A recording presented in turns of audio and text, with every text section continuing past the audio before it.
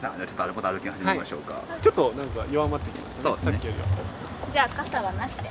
どっちでも大丈夫ですよ。濡れても大丈夫まあいいやこれぐらい。でもこう濡れるとこう服が透けるかもしれないからそうですね。またセクシーになっちゃう。それは常に僕がチェックしときますごいあ視聴者数が上がるかもしれすない。あそれいい危ない。逆逆に。でも逆に苦情も来るかもしれないいや大丈夫苦情は来ないでしょ東急ケーブル的には OK だと喋らなきゃいいんだけど喋ってるからもう。喋ってるのと透けるのは両方やめてくれみたいな。苦情が来るかもしれないいいじゃん喋ってる分で全部。いいじちょっとせっかくなのでこの風景をちょっと見ましょうかね。ゃんあでなんでだろうな。あいいっすねでも絵は、うん。多分あの空気がもっときれいかったら富士山とか見えると思う。あ本当ですか？もうちょっとねあのあっち側に行けば富士見坂っつってあるんですよ、富士見さん。うん、それこそ富士山が見える坂。はいはいはい。でた同じ高さぐらいだから多分見えると思うんですよ。へー。だから喋んないんだったらいいのにとか。本当ですか？いじられキャラになりますか？今日。はえ？今日はいじられキャラになりますか？えでもやっぱり最近の人はこうミュージシャンもある程度お話がうまい方が売れるじゃないですか。本当ですか？それ下手なんですよ、そうなんですか？いやキャラ的には全然いいと思いますよ。でもライブの MC って難しいんですよね。ライブの MC がすごい下手なんですよね。どっちでもいいですけどねえじゃあライブの MC の時はもっとこう正統派な感じなんですか？しっとり。いや。今日はありがとうみたいな。そのちょっとすごいそれがバラバラなんですよね。うん。わかりますあんま定まんないですよね MC って、そうなんですよ。それでその MC があこうライブに来てくれて前なんかそれであの MC 結構やばいからネットラジオで MC の勉強でもするって言われて。勉強してからネットラジオじゃないんですね。じゃないんですけど来月ぐらいからネットラジオが始まるんですよ。あもあそうなんですか？MC がやばいからっていうことで。逆に。逆に。そうなんですよ、まあネットラジオはどこでやるんです文化放送なんですけど。かああじゃあちゃんとしてるじゃないですか。そうなんですよ。ちゃんとした枠なんですけど。すごいですねこんなこんなのあったんですね。この水はどっから来てるんだろうこれも開いたら多分目黒川で多分さっきの合流すると思うんだけなんかプールの匂いがする。どそうですね。水道水かな。なんか上に川はなかったみたいですいきなりすごい勢いで。でもこれ前来た時流れてなかったんで雨だからですかね。ああかもしれない。塩素って感じの匂いです雨水を一旦溜めてみたいな感じで、えーその文化放送の宣伝しないでどうするのそうですね、えっとまあまだ収録が始まってないんですけど、はい。ちょっと伸びたので8月ぐらいからですね。えーとそれは一人でやるんですか？一人です。一人で？とりあえずまずは一人でワンクールを終えましてその後もしかしたらこうちょくちょくゲストの方を呼ぶかもしれないんですけどゲストを呼んだとしてもその人の音楽紹介ではなく、はい。ガールズトーク的なあなるほどね。こう単なるそ会話をしに。れそれ MC の勉強になるんですか？まあまあまあね。わかんないですけどですよね。そうですよね。適当さがやっぱりニューヨーカー。そう常に適当な感じで もう今日はニューヨーカーで押してますね完全に。じゃあその文化放送のホームページとか行けばそうですね。まだまだ出ていないうんと思うんですけど、番組名とかあるんですあります。あの、は竹内春菜壊れかけの私っていう。ままさに今ですもうそういうそういうキャラじゃないですか。今全然今今現在そんな感じ。この番組それでもいいぐらいの。タイトル的には。まあそんな感じななるほどね。タイトル決まりましたって言った時に、文化放送のこう決めてなかったところにいなかった人が「それ本人本人了承済みですか? 」みたいな「本人というか」みたいな。一緒に決めたんですけどみたいな。ところでその最後山公園まだ。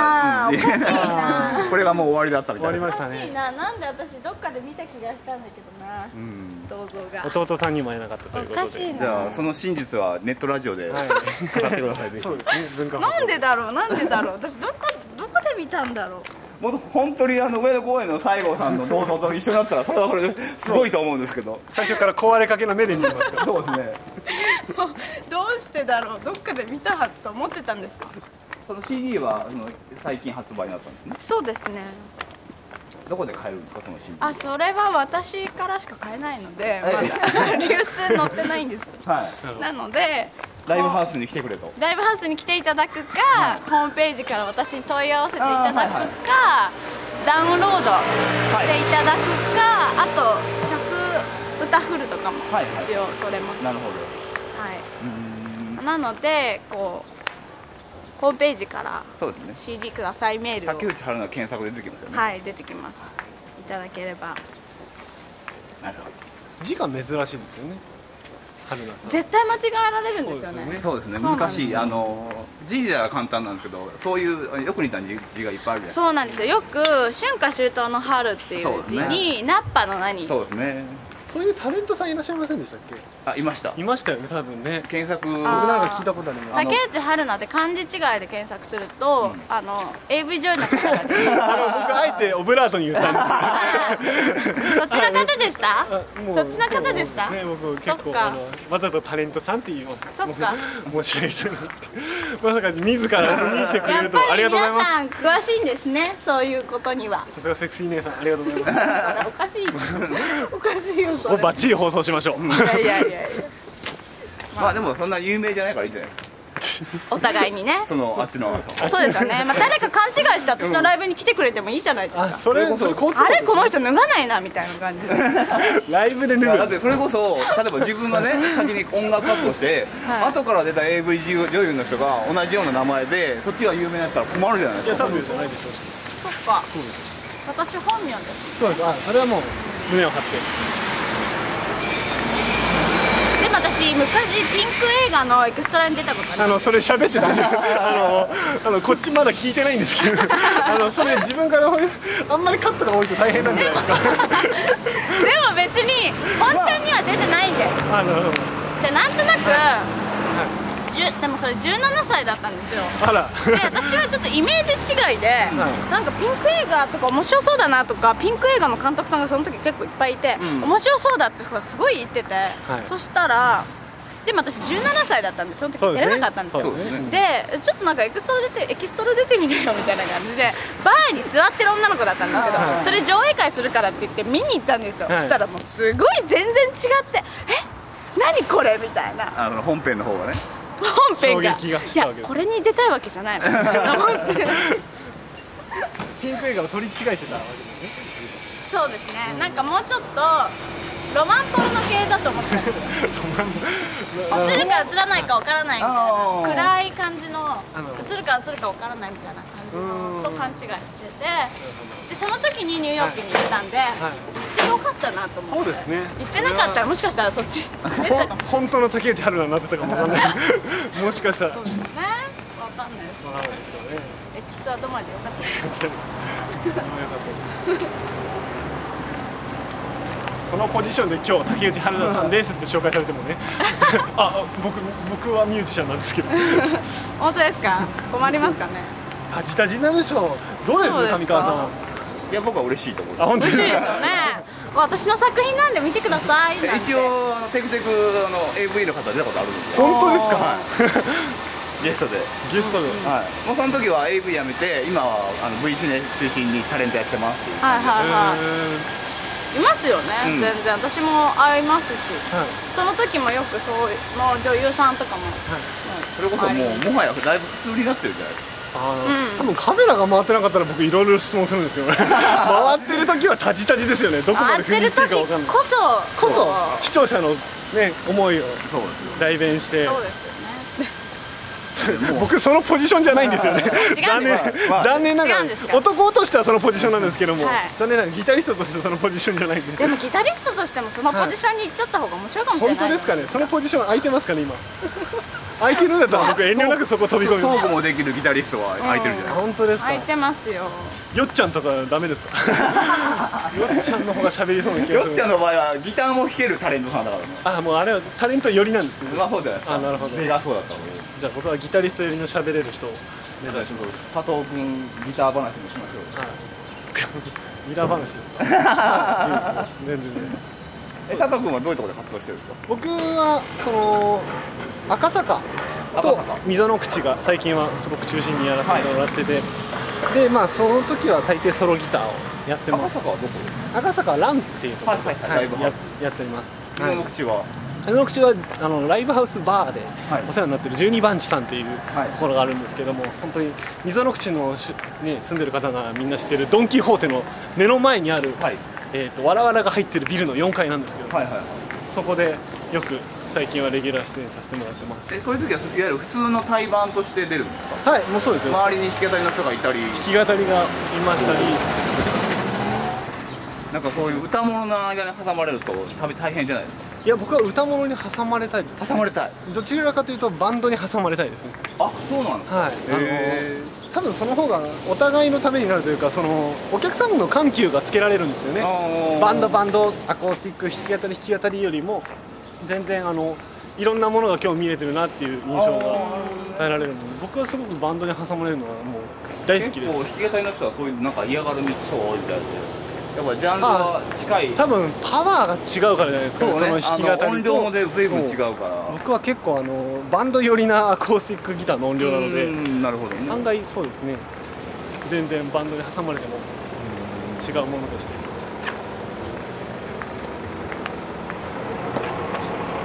竹内さんはそのギターバックで歌ったりことあるんですか？あります。ありますか？それ専用のギタリストさんもいるっ専用というか、まあ、あいい感じだなと思った人に声かけてやってもらったりとかうん。私がうん。こうお願いするんではなくその場でとかじゃあ今日この人なんでみたいな場合もありますし。あそうなんですか？はい、とかいろいろですね。今日この人なんでってよく言われます。初めましてさんサポートをやることも多いですけどそういうサポートをする基準ってあるんですか？基準ですか？はいギャラがあれば何でもやるのか気に入った人じゃないとやらないのか。基本的にはそのボランティアの例えば上川さんとこの前お会いした、はい。あのねノードラッグライブはい。なんかでは僕はああいうボランティアライブにはボランティアでサポートする。っていうスタイルをとって例えばライブハウスでノルマ制だとかあのうん。要は出演なんでしょうお客さんがチケットを買ってくるようなライブにはもちろんそういうものをいただいて参加してるんですけども、うん。基本的にはやっぱりこれから活動の拠点に置きたいのはボランティアライブでいろんな人と出会いたいなというのはすごく正直ありますね。なるほどね。結構いっぱいありますかどれぐらい活動で頻繁な度合いは？ドアイライブの日数でいうと去年は100本はやってますね。多分ソロと両方合わせて。も、そうですね。3日に一遍三日に一回3日4日ね一遍ですね。えちなみに竹内さんどれぐらいのペースやってます？私は月に、まあ、多い時はあったりしますけど、最近は34本ですかね。1週間に1まあ回週に1回ぐらいやっぱ3日に1回は多いですね。そうですね。だからソロだけだったら僕もそのそのぐらいなんですよ、うん。だけどそれと一同時進行ではい。いろんなライブとかゲスト出演させていただいたりとかうんしているとやっぱりどうしてもそれぐらいの数にはなっちゃいますね。僕の場合はあんまり他の、ね、方が見たことないジャンルを演奏しているので、あのいろんな意見が。ダメ出しがあるんですダメ出しなんて言うんでしょうね。あのありがたいありがたい言葉というふうに、はい、捉えておきますけど。かななんだ高青年キャラでいやいやダメ出しっていうのはあのなんでしょうね。あの本当にもっと自分の周りで常に僕の音楽を聴いてくれる人からもらうものであって、うん。その一元さんのお客さんとかの場合はやっぱりその直感だと思うので、うん。あのいろいろ一意見としてあのやっぱ参考する参考にしたいなっていうのを思ってます。ねじゃないとなんか僕は輪を広げ音楽で輪を広げたいと思ってる人間なので、うん。ねあんまりそれをねやられてしまうとなんかう連絡しづらいというか、あの出演者でも輪広げなななくなる広げたくない人っていますよね。そういう いません？そういうオーラ出してる僕も比較的控え室とかこうリハ終わった時とかで別に普通に話すんですけど、はい。もう明らかにもう話しかけないでねっていう感じでこう鏡に見てこう出してウォークマンしてこうタバコ吸うみたいな人がいたらもう全然話しかけないでねっていうことだからみたいな感じの人がいるんそうなんださあでもだいぶあの中目黒の駅に近づいて近いですねもう大体、こうやっぱりこう綺麗な感じでおしゃれな場所ですよあそこ私知り合いがタップを教えてるんです。タップ教えてるタップダンス前やってたんですけど私。ほうほう。ダンスやってないって言って。るそう。私踊ってないですよって言ったけど。踊って別に踊今ってない。は踊って歌ってはしない。ですね、ニューヨークにいた時にこうタップダンス習ったりとか、まあ、結構いろんなダンス習ってたんですけえどでまあその時によく仲良くなったタップダンサーの子たちが、うん。あそこで教えてます。え今も？え今も。へえ今はいない？今。この時間は早い？どうなんですかね？トントンってやってみます？あでもはい。ちょっと早いかもしれないですね。誰かいるかもしれないですそこのそこに私よくサポートしてもらったギタリストの人が店長さんやってる あのお店もあるよ。あ本当？あそれは今空いてないの？ちょ今空いてますよ。多分いるかもしれないんで後で。じゃっと見に行きましょあこうんにちはってち言ってます ここの下ですね。ょっと行ってみますスタジオはい2部。でカズタップスタジオっていう。ー。あー。今空いてないですねあ無料体験してない普通にね早いんですよねやっぱ夜なんですよ。まあそうですよね。うん。この人ですか？そうなんですよ。熊谷人の、まあ、しこう弟子というわけでもないんですけど、うん。こう下になんかまあ仲良くしてる人が、まあ、前ルームメイトだったりとかでまあよく仲良くしてて。あいいじゃないですか。ぜひ紹介しにあのまた取材に来ますよ。はい。言っといてくださいぜカズさんは、うん。まあカズさんは本当にまあビルボード出たりとかもしますし、ひうーんこれこれはオフレコかもしれないんですけどあのああの何でしたっけ？カヒミカリーさんと最近はい。結婚された方でニュースにもなって。あそうなんですあそうなの？じゃあそれはオフレコじゃないんじゃないの？まあそうです。た確かカヒミカリーの結婚のニュースが出たんだはい。から、はい、結婚のニュースに出た時にお相手の方がカズさんなんですよ。なんでこんなものがあるの？えこの身長かかるところで。僕ここ入る入った。よかっえ高いんですね背が85ぐらいです。かた83かな？2かな？それぐらい。なんかそんなに高いように見えないんですけど何 なんですかごめんずーっとこうやって。そうですよね。ちょっとなんかもったいない。失礼じゃないですかやっぱり見下しちゃうと。別に見下しちゃう。そのせいなんだからしょうがなくないですか？なるべくねあの多分絵的にも大変だな。あんまり。私と差がありすぎると。距離的な部分。だから僕結構ちょっと遠目にいたんですよね。ずっと。いすごい。考えてたんですか？や大変かなと思って。この辺はいた女性背高いんだよみたいないやいやいやロビーの先でも入ったいやでもね背高いあの男性好きな人もいるじゃないですかテレビはわからないですからね。あそうそれでちょうどそこにあの地下道あるでしょ。はいはい。川はいあれも地下で川なんですよ。であれはあっちでまたあの三茶の方に流れてるジャクズレ川っていう。弱ずれがそう蛇崩れ。そうなんですよここも歩いたんですよ。いいっすね。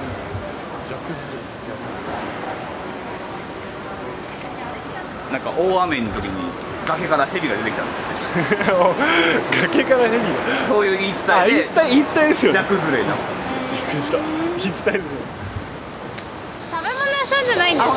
服屋さんなん服屋さん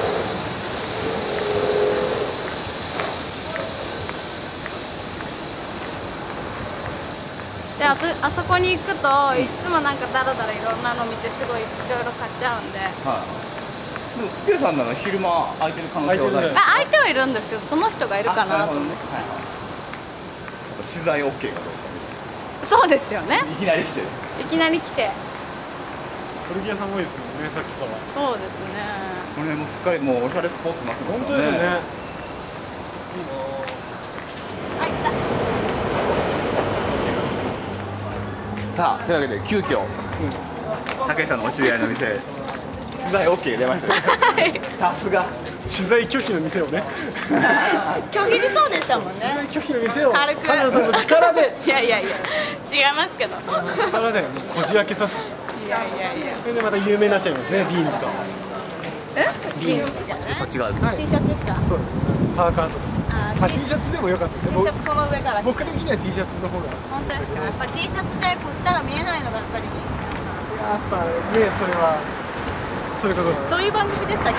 あのそれは冒頭に冒頭に春菜さんが崩したんだけどまあでも一応あのレギュラーは深夜なのでエロトークも全然 OK で。すなんですか西郷山公園あたりからちょっと姉さんが崩れ始めて。まあテクテクの一番あの下話はゲイの人がはいはい十何ピしたわっていう話ぐらいは平気でやってました。それが放送できるんですか？これは OK だったんで。じゃあ全然大丈夫ですね。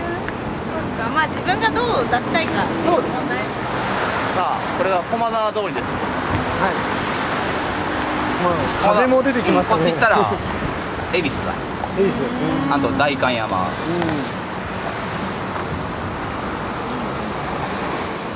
私こっちまで来たことないですあ本当ですか。ここからその遊歩道が始まるんですよね。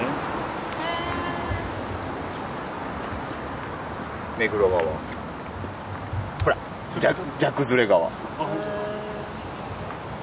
でほら品川で東京湾に。はいはいはい。急に傘からつながりますか。大丈夫ですよ。ドラマじゃないから。じゃああれですね。この辺で佐藤君の曲をまだかけてないので、はい佐藤君の曲かけましょう。はい、はい。ぜひぜひお願いします。じゃあ曲振りを。はい。鳥が好きでございます「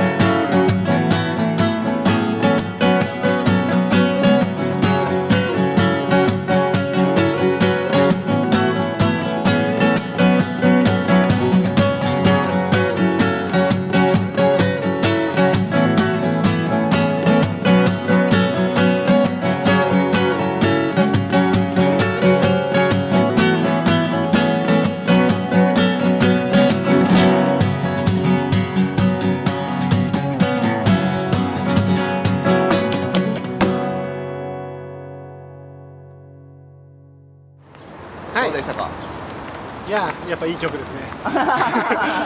いや自画自画自賛。すごいもうどうやって弾いてんだろう。あれレコーディングはどうしてたんですか？レコーディングは全部家でやってます。家で？はい。そういう録音機材がある？そうですねもうそ今年はそれを揃えました。なるほど。目黒川クイズがありますね。えいつか目黒川あ本当だ。その2からいきますか？どうして汚れるの？答えは資料館に行かなきゃいけない。これが1ねなんかなんでこの色が薄いんでしょうって感じ。こっちはくっきりなのに。うーんどうして汚れるの。雨の日に生活排水が流れるから。分かった。このパターンは全部ってパターンだとう。ん答えは一つじゃないよ。思ううん全部全部全部な感じがするな。ゴミが捨てられるから。生活排水も流れて流れる水も少ないから。確かに臭い。うん臭いんですよこの辺。うん中目の方はそんなに気にならなかったの？そうですね。こここ溜まってるからじゃないですかねやっぱり。そっか、うん。そうこの辺だと歩きやすくなそうだ遊歩道が。うんちなみに最近の人で注目の人とかいます？この人のギターうまいな最近最近もう最近ではないんですけどやっぱりペッテリ・サリオラさんからないですね。ていう方がもう YouTube で検索したら驚きの画像ね映像が飛び出しペッテリ・サリオラさん。ペッティサリオさん、はい。何人ですか？フィンランドフィンランド出身のフィンランド人。はい、ギタリストなんですけども、うん。もうそれこそギターを叩きながらうん演奏する方なんですけどもうすごい。えーその人もギターのみ。そうですギターのみ、うん。あでも歌ったりもするみたいなんですけど僕はあのギターだけの方がすごく好きですね。やっぱりそういうあのパーカッション的なことをしてる人が好きな感じですか？そうですね。もあう今はもう彼の演奏がすごい好きですね、ニュートン・フォークナーとかって。うんニュートン・フォークなあー存じ上げないです、あ本当ですか。この人は歌う方で叩くの僕好きな感じあ本当ですか。ギターからの歌うじゃなくて歌がメインの方の叩きもするよぐらいな感じで。あの人も僕好きです。ねへえちょっと調べてみるそれこそあの叩きながら弾きながら歌うっていう。へえ相当ハイレベルなことをしてる人がいるんですねラウル・ミドンとか、あそうよくあの、はいもちろん聞きます。盲目の人ですね。ニューヨークで見たんですけど、うん。すごいなこの人みたいな。すごいですよ。あ すごいですよ日本公演は見に行きましたよ。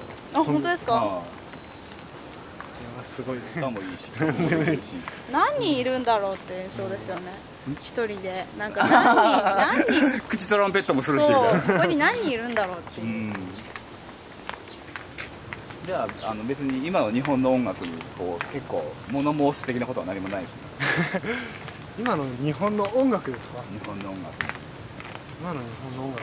僕は毎回言わすようにしてるんですけど 皆さん。にそんな怖いことをねいや言えないですよね単純にあのあれですよね。ロックバンドがやっぱりチャートに入らなくなってきましたよね。ああまあそうですね、うん。僕の世代ってやっぱりあのロックバンドっていうのは常に上位にいるものだったんです、それこそポップでありロックであるうん。バンドって多かったじゃないですか、うん日本って。ジュディマリーとか、うんあの辺がやっぱりああいう系列がいなくなってきてなんか、はい、知らない人たちが増えてきたなっていうのはうん。なんか感じてますね。いいとか悪いとか抜きになんかちょっと寂しいなっていう気持ちになってますけど、僕は結構比較的その日本の音楽も洋楽も好きだしはい。ヒットチャートものもまあまあ好きなんですけどはい。やっぱりあのアイドルもんとかあのなんていうのかな歌が歌えないような人がこう上位に来るのはちょっとさすがにうえーって感じすうる、んそういうものが存在してある程度こう売れてるのも全然いいんだけど、んそれこそワンツースリーみたいな話になると、で それは誰も見んようになるわなみたいな、特に今音楽番組が何もこう今どんどん変わってきてる話になってるの知ってます？どんどん夏メロ化しているというか。ああと芸人が増えてるんですよね。そうそうそうそうロックバンドですよね。バラエティー化夏メロ化、そうですあそう。そろそろあのだいぶ終着点に近くなってたんですけどはい。あのお二人は和菓子は好きですか？はい。もちろん。はい。じゃあ和菓子買いに行きましょう。かはい。はい。はい。すぐそこにねその商店に商店っていうお店紹介ではいはい。紹介した和菓子屋さんがあるんですよ。へな。た和菓子って言ってもいろいろあるじゃない。えっ、とどら焼きとかああいう。どら焼き。ーはい。本当の和菓子。はいはい。おまんじゅうとか。はいはい。僕僕ね大福が大好きなんですああありましたよ確か。大福大福と団子があれば。じゃあ今日のギャラ代わりで。お出ししますやったはい。ありがとうございます。ちょうどねそこだと大鳥神社。本当に神社の辺ですね今。へその斜め向かいに玉川屋さんっていうところがあってーはいはい。そこ商店に商店で紹介して。水羊羹はい。ここです。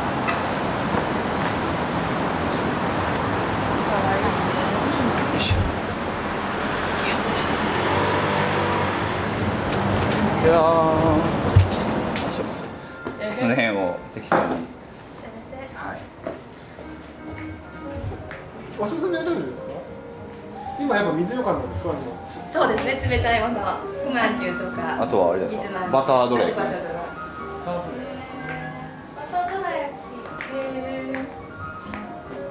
美味しそう。うん、ちょっと水羊羹で見た瞬間に水羊羹が食べたくなったんで水羊羹を僕ははい。お願いします、水羊羹はい、おいくつですか？はい。はい。じゃあどうぞ。えー、どうぞ 確かに水羊羹も美味しそう。あじゃあ水ようか2つ。水羊羹ああじゃあ3 つ。三つ。は いすいません。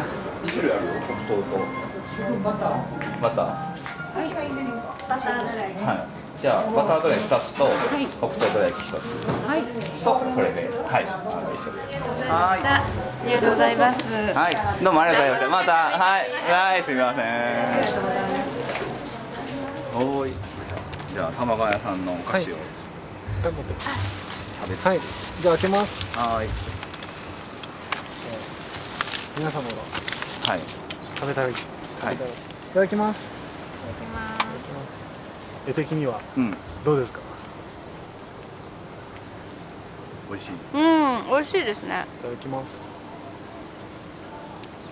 おおみずみずしいうんこれ全然飲み物出しても大丈夫ですね。うん。美味しい。水羊羹をこうこういう食べ方したことないですけど。美味しい。まあこれはこれでセクシーなんで。ええー、そっち系ですか？る感じで視聴率上がってますから。うなぎの盛りいやいや。やっぱ作りたてだからお店美味しいそうですね。全然裏で作ってるから。甘すぎないですもんね。うんテクテクとレポーターも募集してるのでちょっとレポーターあレポーターいい。ん本当ですか？レポーターかと言われればそのうそのままの感じでレポートで全然 OK なの本当ですか？やります？あ本当に？マジで？マジで、はい。ぜひぜああどれひバターどら焼きを食べてるんですいや全然。あバタードラ焼きるんですか？はないです。びっくりした。バターが入ってる。バタークリーム。クリームなんですか？クリームですね。へえこの間も食べたんですけどいきますいい絵ですね。うん。ちょっと後で後悔しますよそんなにあそうですか。あげてると。僕こういうこの人こういうキャラじゃないかといや別に僕どういうキャラでもいいので。ブッセみたいな。ああはいはういねクリあクリームです、うん。ほら。バタークリームん。うん。美味しい。なんか。お豆が入ってますね、うん。これどら焼き。ですか？風じゃ豆あれですね。なんかウグイスあんじゃないうん。いいさん。緑。これはそうだ本当に水なくなりましたね。本当になくなるんだこ1リットル。れうん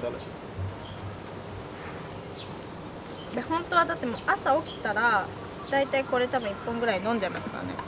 え。ー、23倍コップに飲みます。女性は飲んだ方がいいまあねっていうそうですよね。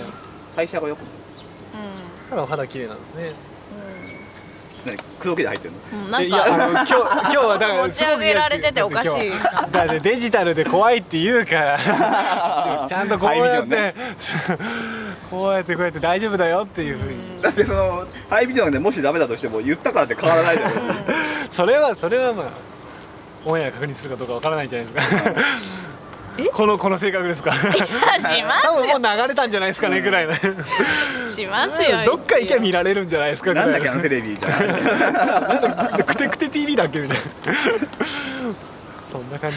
まあちょっと見抜かれ気味ですけど。ライブできっとそんな風に言ってるんですよ。この前テレビ出たんですけどなんてテレビだったか忘れちゃったんですけど。なんかうろうろする番組なんだよね。うろうろ TV だっけ。確か和菓子が美味しかったんですよ。食べ物しか記憶見ないみたいなさあじゃあラストスパートいきましょうかね、というわけではい。目黒川はこのままずっと続くんですけどはい。今日のポイントはこの辺りで。はい。ですね。目黒通り沿い。はい。次回は目黒通り沿いからまた続きますが、はい。今日はこの辺ぐらいにして、今から目黒駅まで戻りましょう。はい。はーい。というわけでエンディングです、はい。目黒駅に着きましたどうもお疲れ様でした、さすがにだいぶ歩くと長かったですねやっぱり。結構歩きましたねまあ。はい。私のせいで脱線しましたし。は いいいと思いますそれはそれで。そんな感じでね。あのまあ楽しく終わったじゃないですか。はい。天気が残念でしたけど。そうですね。はい。まあ、最後に告知というか、ね、再度ライブ情報とかいろいろあると思いますので、この辺は、はい。その辺はですね、まあ、ホームページ見ていただいたりブログもありますので、はい、竹内春菜で検索していただいて、あの私漢字が晴れるに奈良の奈なので、はい。漢字間違えるとまあまた違った方が出てくるんですけど、セクシーな感じの。セクシーな方がはい、出てきちゃうんですけど、まあ、春菜竹内 .com でぜひ。あ原田武史ということですね、はい、見てください佐藤君。は、はいお疲れ様でした、はい、もうえーホームページありますよね、もちろんです、あのはい。ホームページ検索していただければ佐藤和馬検索していただけますと,、えー、とホームページ出てきてライブ告知などしております。またねあのアーティストさんであの僕の演奏を YouTube とかで見て、えー、とこの人にちょっと後ろで弾いてもらいたいなんてことがありましたらぜひあのメールなどくださればぜひぜひあのやりたいなと思ってるんでぜひよろしくお願いします。はい、わかりました。というわけで、今日は買い物をしましたし、しましたね。はい。こんなの買っちゃいましたし、ねはい。はい、いろいろ寄り道もしましたけど、はい、今日はいろいろどうもありがとうございました。はいありがとうございましたありがとうございます終わりたいと思います。さよなら。